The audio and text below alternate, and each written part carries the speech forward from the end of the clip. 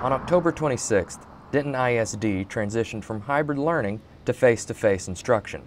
The decision came after a six-week progress report revealed significant failure among high school students.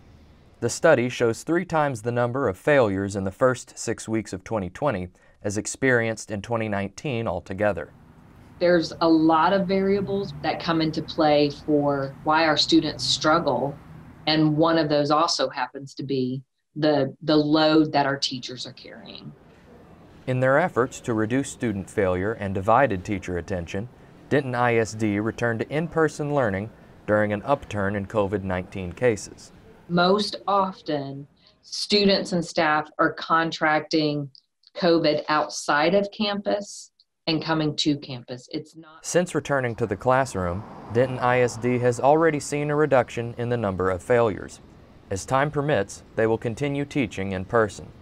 For NTTV News, I'm Andrew Fancher.